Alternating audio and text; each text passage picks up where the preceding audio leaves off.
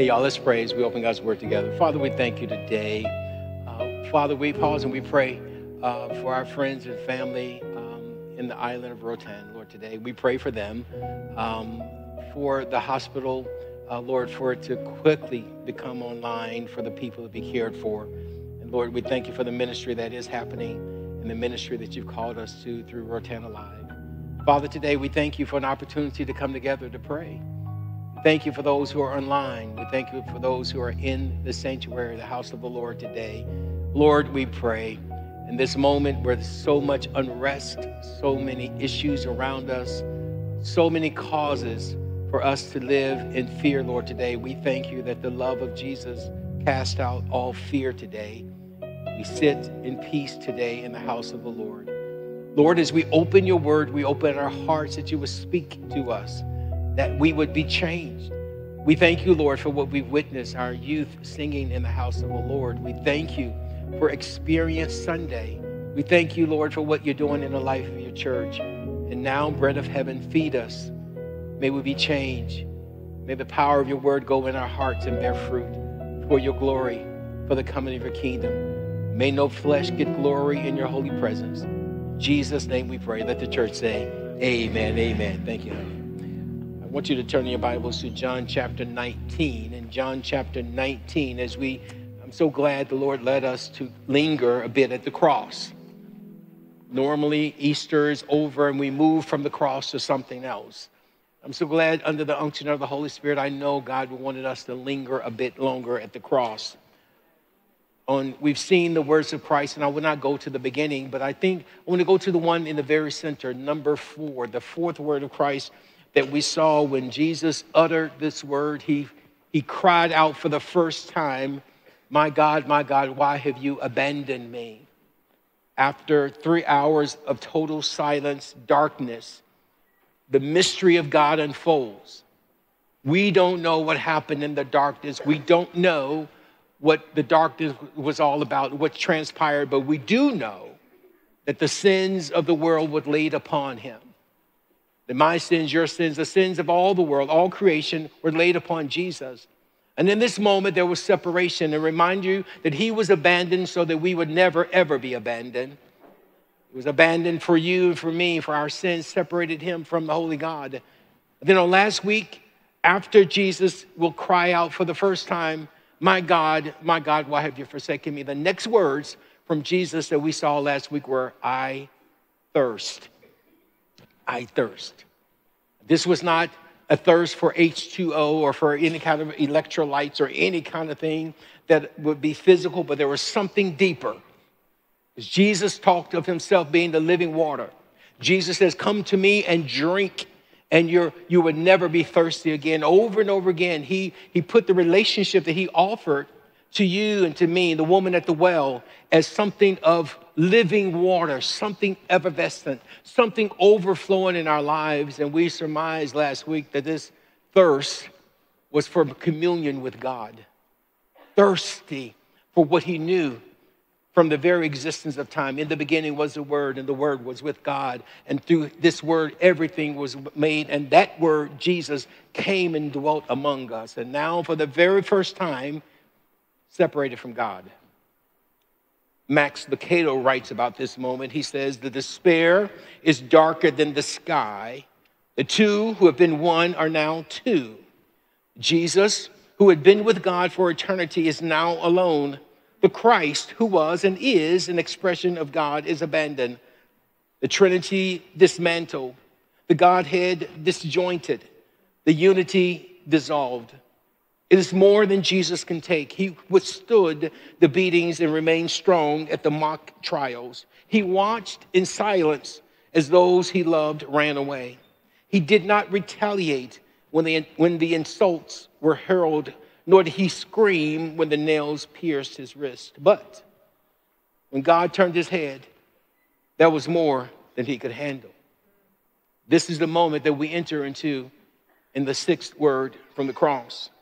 In John chapter 19, commission in verse number 28, let's go back to the cross. And the Bible says this after this, Jesus, knowing that all things were now accomplished, that the scriptures might be fulfilled, said, I thirst.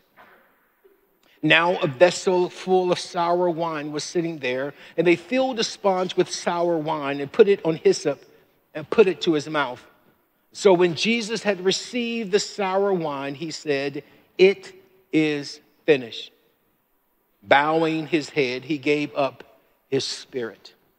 May the Lord add a blessing to the readers, hearers, and doers of his word. Matthew, Mark, Luke write about this moment, but it's only John that renders these words, it is finished. All of them write about this scene. What is this cry from the cross, the second cry from the cross? It is finished. It is not a cry of abandonment, it's a cry of accomplishment, it's a cry of victory.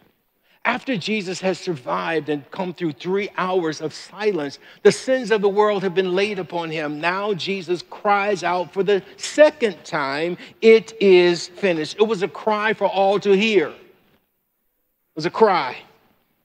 This Greek word is tetelestai, which means completed, nothing to be added to it. Jesus will use this word over and over again in Mark, um, John chapter 4. When the disciples came to Jesus and asked him to eat, Jesus told him, told them this in verse 34 My food is to do the will of him who sent me and to tetelestai, to finish, to complete, to complete his work. This word comes from something that says it's completed, nothing to be added, nothing to be subtracted, complete, whole, done. This is the word that Jesus will cry from the cross that it was finished. Everything God purposed, every sin that was has been committed and will be committed had been forgiven, had been atoned for, I should say. And Jesus in this moment says, It is over, it is finished.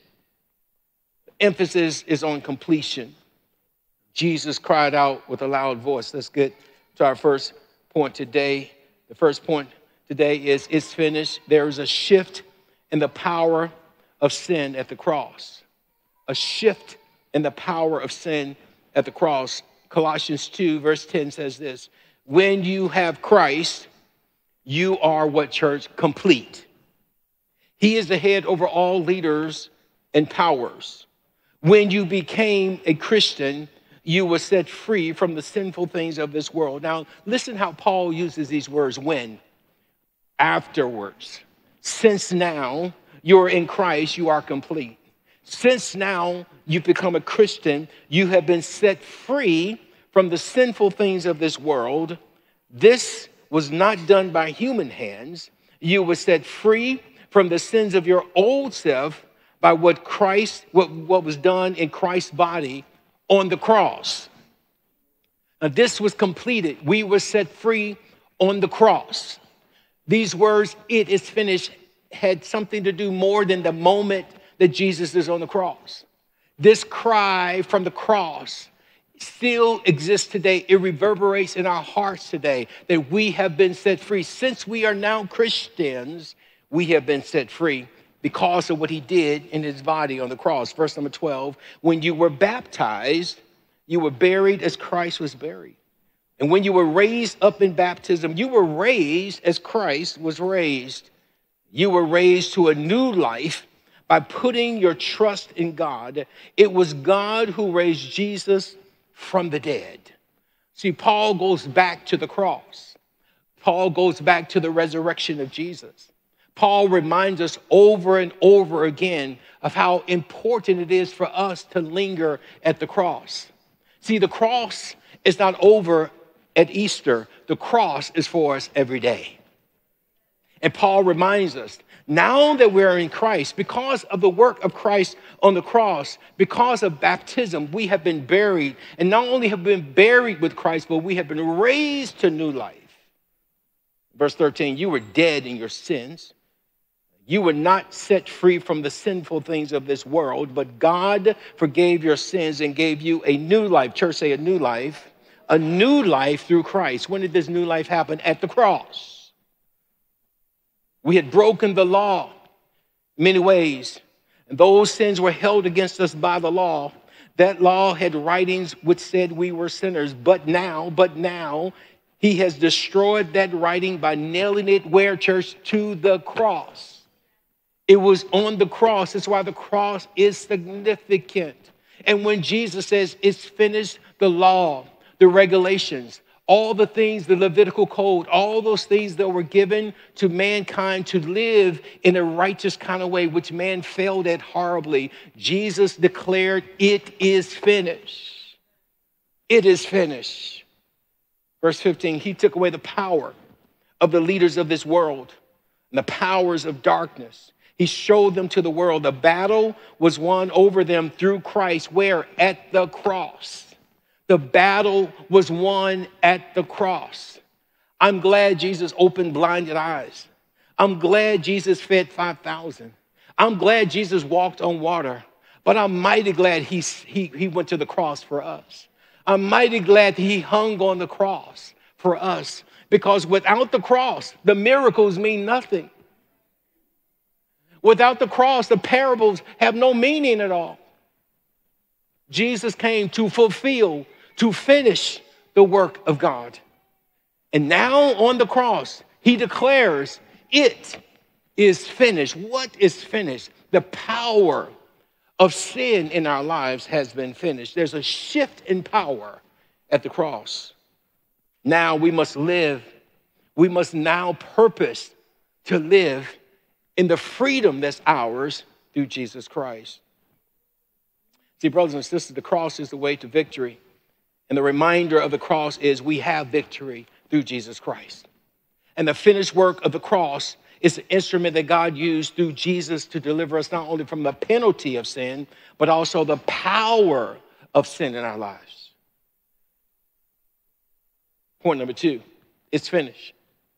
The provision for sin was given at the cross. Matthew, Mark, and Luke will not mention the words, it is finished. However, Matthew, Mark, and Luke will give us another view of what's happening at the cross.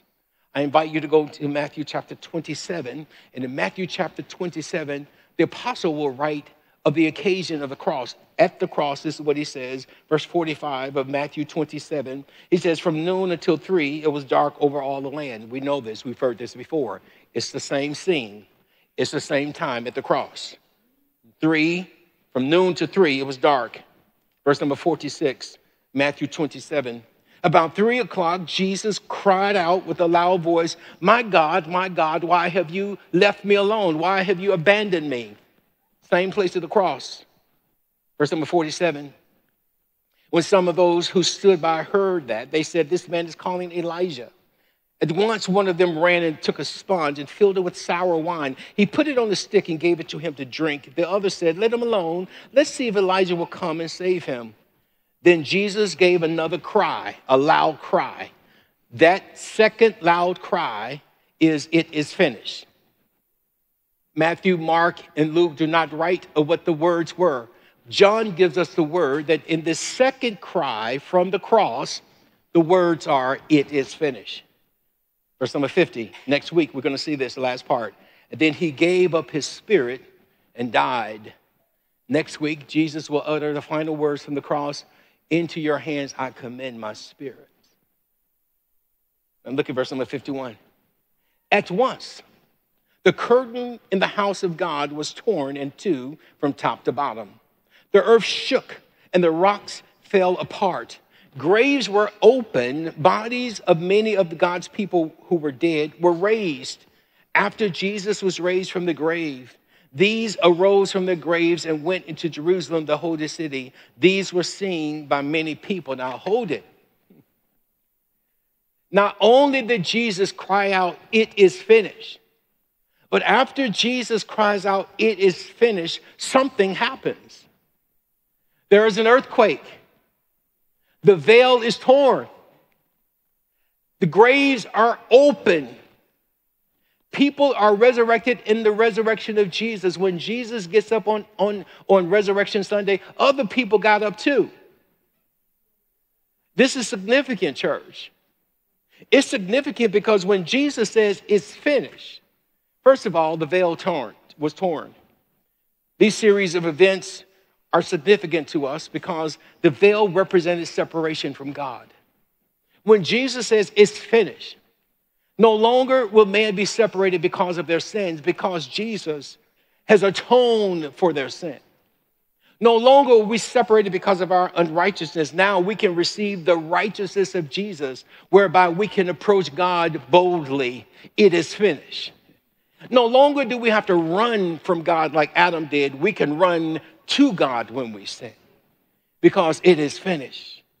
In Hebrews chapter 10, verse 19, let's see how the writer will illustrate this. In verse number 19, he says, Therefore, brethren, since we have confidence to enter the holy place by the blood of Jesus. Now, wait a minute. We have confidence to enter into the holy place. The veil separated the holy place from the most holy place. The veil, only once a year could one man go behind the veil, once a year, once a year, and also to offer sacrifice for all the sins of the people. Once a year, one man would go into this place that was protected by a veil. And now that veil that only one man could go in once a year was now open to all. Why? Because it is finished. No longer do we need a man to mediate for us. We can go to God ourselves. I love it when people say, Pastor, would you pray for me? I say, Yes. As you pray for yourself, I will pray for you. Amen. Because God hears my prayer and God hears your prayer also. You don't need anyone. No one. No one needs to intercede for you. You can intercede for yourself. Now, I am not saying that prayer ministry is not important. You understand what I'm saying? You can approach God boldly on your own, as sinful as we all are, because no one comes to God sinless. Once a year, one man would go behind the curtain. If that man had not rightly offered sacrifices for his sin, that man would go behind the curtain and die. That man would go behind the curtain and they will put bells on his the end of his robe. And they will put a rope around the man's waist. Because if that man went in the presence of God Almighty and he had not confessed his sins, and he had not given the right sacrifices for his sins appropriately according to the law of Moses, that man would die and people would pull his remains from behind the curtains. That's how holy it was. And now that same curtain was torn. And now not only can a man go back there, but a woman can go back there too. Amen, church. Amen. Yeah. Now we all have access to the glory of God. Why? Because of the cross, because of what Jesus did on the cross. Let's get back to verse number 20, uh, verse number 19, uh, Hebrews 10. Therefore, brothers and sisters, sisters, since we have confidence to enter the holy place by, through the blood of Jesus, by a new and living way, which he inaugurated for us through the veil that is his flesh. So, the flesh of Jesus, the veil of his flesh, that he, he, that he that was ripped at Calvary has given us access to God Almighty. Verse number 21. And since we have a great high priest over the house of God, we don't need a man. We have the great priest, Jesus. Let us draw near with a sincere heart and full assurance, having our hearts sprinkled from an evil conscience and our bodies washed with pure water. Brothers and sisters, it is finished we have total access to God Almighty. Not because of our righteousness, but because of the, the atonement that was rendered to us through Jesus. This is important. The curtain, it wasn't a regular curtain. It's not like your shower curtain, trust me, okay? This curtain was maybe five to 10 inches thick. It was hundreds and hundreds of pounds. It would take men, it would take men, many men to hoist this curtain. It was about 50 feet tall. It was a clear separation from God, between God and man, because the very presence of God was behind this curtain. Watch it. And why did God put that curtain there? He put that curtain there because he's so holy, he would have completely destroyed everyone because of his holiness. God veiled himself to protect us from his holiness. As a matter of fact, when God drove Adam and Eve out of the garden, he wasn't being mean to them. He was driving them out of the garden because had they continued in the garden, they would have stayed in the state of sin. It was grace. Now, this grace has been realized. Not only did that veil have a gulf between God and man, but that veil represented a, a, a gulf between life and death. It is significant that when Jesus said, It's finished, and gave up his spirit, that graves were open. Up until that time, graves were closed. When Jesus says it's finished, graves opened. Now that Jesus has conquered death, hell, and the grave, now we can live in the victory that death is not final for the believer. See, the realization Jesus had already told Mary and Martha in verse in John chapter 11. Martha in verse number 21, Martha said to Jesus, "Lord, had you been here, my brother wouldn't have died. I even know now that God will give you whatever you ask." Jesus says to her, "Your brother will rise again." Jesus wanted her to know resurrection is for the believer. Martha says, "I know he will rise again when the dead are raised. I know that there's a resurrection coming." from the grave on the last day. But Jesus says, I am the resurrection. I am the one who raises the dead and gives them life. Anyone who puts his trust in me will live again, even if he dies. And anyone who lives and has put his trust in me will never die. And then Jesus asked a question that still reverberates today in the hearts of every believer Do you believe this? Do you believe in life after death through Jesus Christ?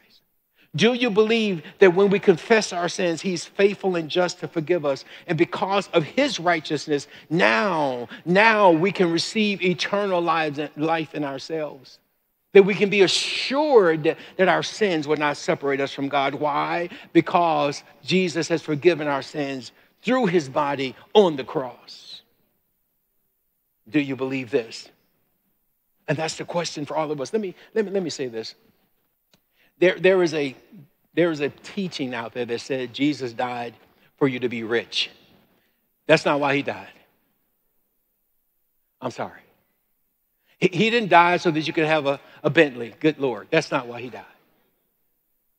He, he, he didn't even die, watch this, for your body to never, ever be sick because these sinful bodies will get sick. Amen. You can patch it up all you want to. But there's a reservation in the cemetery that you cannot cancel. But what Jesus did promise us Jesus died so that though we die, we will live again. That's why Jesus died.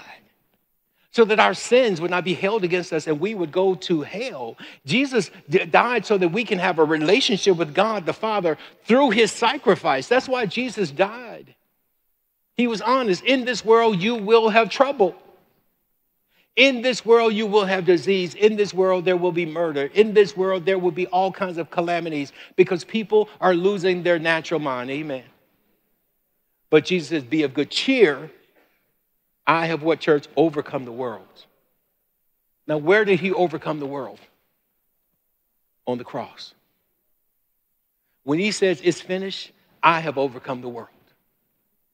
When he says it's finished, death no longer has reign over you. How do I know so? Because graves are open. Graves were anticipating the resurrection of Jesus. B- bodies that had been in the ground and probably had deteriorated, now the graves were open, waiting for Jesus for resurrection. This is the power of the cross. This is the power of that statement. It is finished. It is over. Death is no longer final. Brothers and sisters, this is the sufficient work of Jesus. This is the finished work of Jesus that we now live in. That veil was torn. We are never, never to be put back again. Never to be separated from God. Never ever needing someone to pray for your sins to be forgiven. Now You can boldly go to, to the Lord to confess your sins. Why? Because He died for all of it already. He's paid the price for all of it. All we must do is confess our sins. If, we if we confess our sins, He is faithful to forgive us our sins because we have an advocate, the Lord Jesus Christ. Brothers and sisters, we don't have to be tormented. Sacrifices that were made by humans' hands are not sufficient any longer. In that day, there were many ways for you to be, have your sins forgiven. You would have to bring different kind of animals for different kinds of sins. Can you imagine how much, how many animals we would have around the church if that were so? Can you imagine? When Jesus says it's finished, no longer can an animal's blood sacrifice for you. Now you have the precious blood of Jesus that has been given for your sins. Hallelujah. Hallelujah. And that blood never loses its power. The battle was won when Jesus says, It's finished, it's over. Verse number 20 of Galatians chapter 2 I have been crucified with Christ. It is no longer I who live, but now Christ, what church lives in me, crucified, the cross. I've been crucified with Christ. Now I live, and the life which I now live in the flesh, I live by faith in the Son of God who loved me and gave himself for me. Where? Gave himself for me at the cross. At the cross. Brothers and sisters, let me get to my final point here because it's finished. Live in the assurance that there's nothing between your soul and God. Live in the assurance that there's nothing that you can ask God to forgive you for that He will not forgive you of. Live in the assurance that no sin can separate you from the love of God, which is in Christ Jesus. Live free. Now, here's the last part here, and we're going to sit up. This is for grown folk on this one right here. Uh, it's finished. There's a shift in the practice, the practice of sin in our lives. The power of sin has been broken. The penalty for sin has been paid. The provision for our sins have been given to us through the blood of Jesus, through the veil of his flesh. The veil has been separated. Now we have access to, the God, to God Almighty. So, that being given, why would we continue to practice sin? Would you turn your Bibles to Romans chapter 6? And as you go there, I'm going to read a couple of verses out of Colossians chapter 2. When you were dead in your sins and in the uncircumcision of your sinful nature, God made you alive with Christ. He forgave us of some of our sins. Of what church? Of all of our sins. He forgave us of all of our sins. When we were dead, He forgave us of all of our sins. Before you were born, He forgave you of all your sins. Verse 14, having canceled the written code. What's the written code? The law and the regulations that was against us, that stood opposed to us. He took it away, nailing it where church? To the cross. The cross is not for Easter, the cross is for every day. The cross is a reminder that He has canceled the debt. He has canceled the written code. That's why we're going to study the book of Galatians together. And we're going to see how Paul reminds us of this grace that's been given to us. Verse number 15. And having disarmed the powers and authorities, it made a public spectacle of them, triumphing over them by the cross. In Romans chapter 6, and I would advise every believer here today take a moment this week read Romans 6 and chapter 7. Paul deals specifically with us, life in Christ after the cross. Romans 6 and verse number 1, he says, Well, then, should we keep on sinning so that God can keep on showing us more and more of his wonderful grace? Of course not. Since we have died to sin, how can we continue to live in it? Or have you forgotten that when we were joined with Christ Jesus in baptism, we joined him also in his death? For we died and were buried with Christ by baptism. And just as Christ was raised from the dead by the glorious power of the Father, now, now we must live new lives. Church say, new lives. We must live new lives. Verse 5. Since we have been united with him in death, we will also be raised to life as he was. We know that our old sinful selves were crucified with Christ so that sin might lose its power in our lives. It is finished. It is finished. Sin loses its power in our lives. We are no longer slaves to sin. Flip Wilson used to say, The devil made me do it. Anybody know about that? We'll teach you other young folk what it is later on. The truth is, no longer are we slaves to sin. God has taken the power of that from us in Jesus Christ.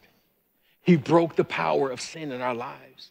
We're no longer slaves to our desire. Watch this. We're no longer slaves to that temptation. We're no longer slave to that lust. We're no longer slave to just being a liar. We're no longer slave to gluttony. We're no longer slaves to gossip. I just can't help it. If I hear some truth, I just got to spill the tea, right? No. We're no longer slave. It's no longer, I can't help myself. Yes, you can do all things through Christ who strengthens us. Amen, church. Victory. Victory is ours. Back to scripture. For we, verse 7, for when we died with Christ, we were set free. Set free. Set free from the power of sin. And since we died with Christ, we know that we also live with him. We are sure of this because Christ was raised from the dead and he will never die again. Hallelujah. Death no longer has power over him. It's finished. Death no longer has power over him. Verse 10 When he died, he died once to break the power of sin. But now that he lives, he lives for the glory of God. So you also should consider yourselves to be dead to the power of sin and alive to God through Jesus Christ. Practically, verse number 12 do not let sin control the way you live, do not give in to your desires. Do not let any part of your body become an instrument of evil to serve sin. Instead, give yourselves completely to God, for you were dead, but now you have what church? New life. Look what he says now. Let me go back to verse number 13. Don't let your bodies become an instrument of evil. Instead, give yourselves completely to God. So use your whole body as an instrument to do what is right for the glory of God, your whole body. If you read these verses and not convicted, something's wrong with you. Well, Paul is saying, hey, listen, you have victory, so walk in that victory. You have, God has conquered everything. When Jesus says it's finished, it's finished. Yeah, you may have that desire. Desire is always going to be there. You may have that lust. You may have that thing that you really like to know the gossip of the day. I'm, I'm going to talk about gossipers today. That's okay. You know, you may have the thing that you're just curious. I want to know. That desire is going to be there because it's in the flesh. But God is giving you victory over that in your flesh. Amen. Victory. That's the victory. That's the victory. God's given you. Verse number 14 sin is no longer your master, for you no longer live under the requirements of the law. Instead, you live under the freedom, the freedom of God's grace. Well, then, since God's grace has set us free from the law, does that mean we keep on sinning? Paul is really messing with us today, isn't he? He's asking all questions and answering all questions. Listen, since we have grace, I could just ask God for forgiveness to keep on living what I want to do. Since this grace is limitless, I can just live whatever life I want to. At the end of the day, Lord, remember me in your kingdom. Okay, I'm with you in paradise. I've lived my life in all kinds of sham kind of way. And at the last minute, Lord, receive me in your, in your kingdom. Paul says that's not how it works. No, no, what Paul is saying is you and I have to participate in righteousness, not to earn it, because we have received righteousness through faith in Jesus Christ. Amen. And since we have received righteousness through faith in Jesus Christ, Paul is saying, then live like you have received righteousness through faith in Jesus Christ. That's what he's saying. Live that way. Verse 16, don't you realize that you have become the slave of whatever you choose to obey? Let me read that again. Don't you realize that you become the slave of whatever you choose to obey? You choose to obey it, it becomes your master. You choose to continue in something that you know is sin. That sin begins to master you. That's practical right there, church. You can be a slave to sin. You can be a slave to sin, which leads to death, or you can choose to obey God, which leads to what church? Righteous living. Thank God. Once you were slaves to sin, but now you wholeheartedly obey this teaching we have given you. Now you are free from your slavery to sin and you have become slaves to righteous living. Because of the weakness of your human nature, I'm, I'm using the illustration of slavery to help you understand all of this. So Paul is saying, don't, get, don't be offended by slavery. He must have knew that America was coming. That's what he knew. He says, listen, don't be offended by this word. Don't be offended. Don't be offended. I'm using this to give you an illustration of what sin looks like. Sin wants to put you in bondage when God has set you free. Sin wants you to believe that you cannot break this behavior. When God says it is finished, it is over, that no longer has power over you. This is the victory that's ours in Jesus. Back to the text. Previously, you let yourselves be slaves to impurity and lawlessness, which led you deeper, deeper into sin. Now, you must give yourselves to be slaves to righteousness, living so that you will become holy. Verse 20. When you were slaves to sin, you were free from the obligation to do right. And what was the result? You were now you are now ashamed of the things you used to do, things that end in eternal doom, what you used to be. But now but now you are free from the power of sin and you have become slaves of God. Now you do those things that lead to holiness, and the result is what? Eternal life. For the wages of sin is death, but the gift of God is eternal life through Jesus Christ. And you've heard that before. But now in context, you see what Paul is Paul is advising all of us. Hey, listen, now that you have access, now that you don't need a mediator, now that you don't need to kill a calf or kill any kind of animal, now that Jesus has paid for your sins in full, now live in the victory that comes along with Jesus' price for you. You have been set free. Walk in the grace and the freedom of God. Be set free. It is finished. It's finished. That thing that's got you bound, that person that may have you bound, it's finished. Father, today, we're free. You made us free. At the cross, you, you broke You broke the power, the mastery, that I can't help it. You broke it. You took away every excuse. And you empowered us with your spirit. You gave us the word that whom the Son has set free, we are free indeed. Lord, for some of us, we have been playing around with sin. We know it doesn't please you. And we have let it become mastery over us. Lord, today, in the name of Jesus, we speak to that and we declare it is finished. We will yield to the conscience of the Holy Spirit that speaks to us in that moment. To not participate willfully in sinful behavior. It is finished.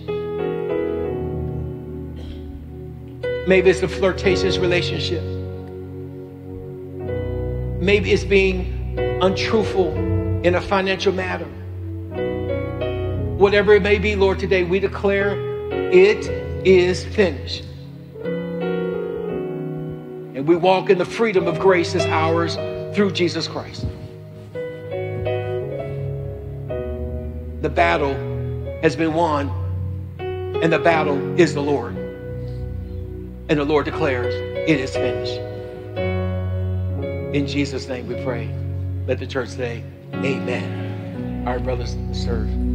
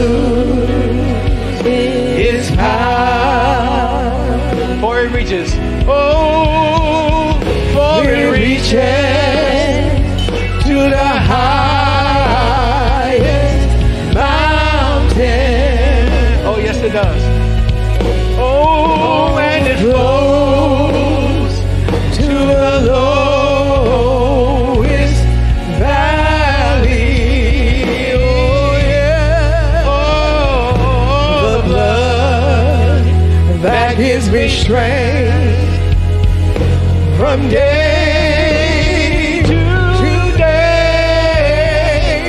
It will never lose its power. Come on, one time. Oh, for it reaches. Oh, It reaches stand with me? to the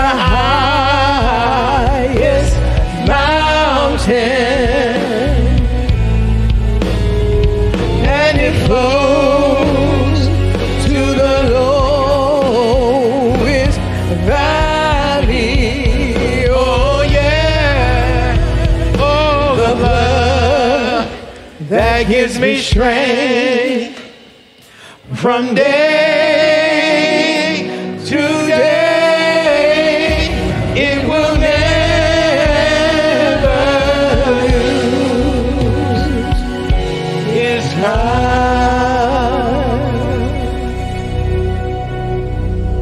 Jesus wanted us to remember his body and the significance of his body on the cross. That's why he says this bread represents my body that was given for you. Through the veil of his body, we have access to the holiness of God. Father, we thank you for giving us Jesus. And because Jesus gave us his body, now we have access to you.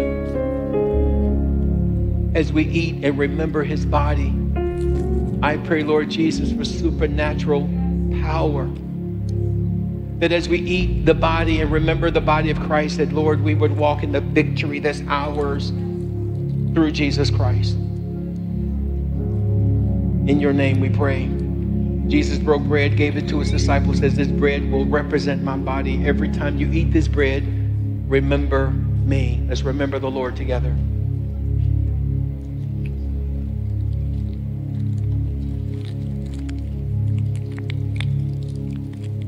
It is that blood, the pure blood of Christ, that satisfied every sacrifice, that satisfied the wrath of God. Now, God is no longer angry at us through Jesus Christ. And everybody said, Amen on that. Let's drink and remember it was His blood for us.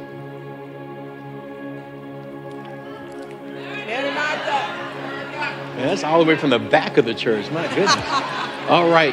One, two, three. Maranatha. Hallelujah. The Lord is coming again. The Lord is coming again. Amen, church. Look, watch the news. The Lord is coming any moment. Amen. I want you to grab the hand of the person next to you. I want you to tell them these words as if they will remember it for the rest of their lives. Tell them, walk in freedom. Walk in freedom. Live in freedom. You are free. Don't let sin have you bound. Run this race with patience, looking to Jesus. Lay aside every weight and sin that easily beset us. Focus on the cross. Would you pray over the hand that you're holding today? Father, I pray for my brother, my sister. May we walk in the freedom. The cross goes beyond Easter, the cross is every day. I pray that out of his glorious riches, he strengthen us with power through his spirit in our inner beings, so that Christ may dwell in our hearts through faith. Pray, church, we've been rooted, grounded in his love, may have power together with all God's people to grasp how wide, how long, how high, how deep the love of Christ is for us and to know this love that surpasses the capacity to understand that we might be filled to the fullness of the measure of God in our lives. Now to our great God who is able to do exceedingly abundantly above all that we can ask or imagine, and to him be the glory, the majesty, the dominion, and power forever and ever we pray. Those who love Jesus said, Amen. God bless you.